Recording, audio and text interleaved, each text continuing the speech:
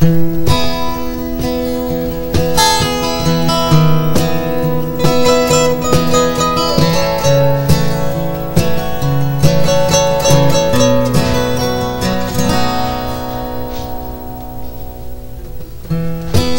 and I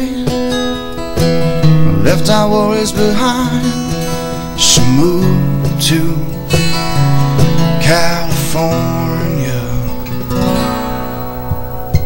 She left her bed on the second story balcony and clothes on Walnut Street. The plane that she took was laid off the runway, so California, you'll have to wait.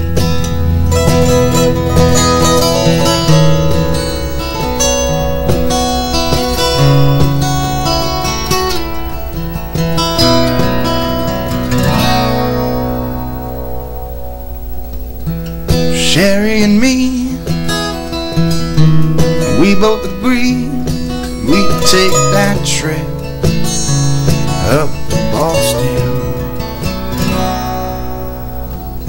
She grabbed her coat and a spare change and checked the station line for the next train. But no cabs had their lights on, no one's running late. But Boston still, you'll have to wait.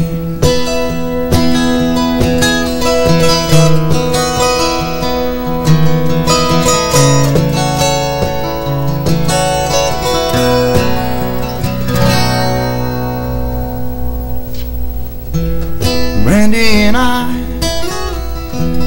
took a Saturday drive on a one-lane road to New Mexico.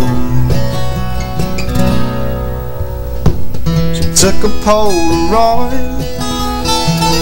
in a swimming suit and a t-shirt that read New York, I'm in love with you. But the toll road was closed, we were locked behind the gate to New Mexico. You'll have to wait